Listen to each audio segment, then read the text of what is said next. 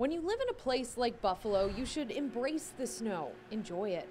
But for many people, getting the opportunity to experience a beautiful day on the slopes isn't an option.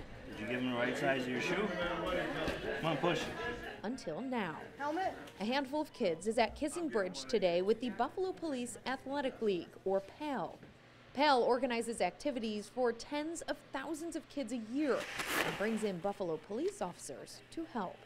I think we all agree that for police officers to be effective, we have to be out in the community and the community has to befriend us and we have to befriend the community. Lieutenant Rogowski and two other officers are learning to ski alongside this group from the Hennepin Community Center, which is in Lovejoy.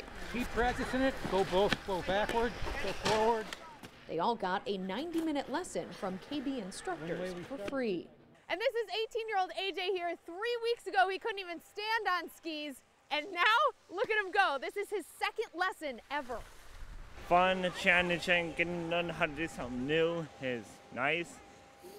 Definitely scratch it off the bucket list. Pretty fun. AJ says skiing has been on his bucket list for a while now. And even with all the falls, there are still lots of smiles at the end of this fulfilling day.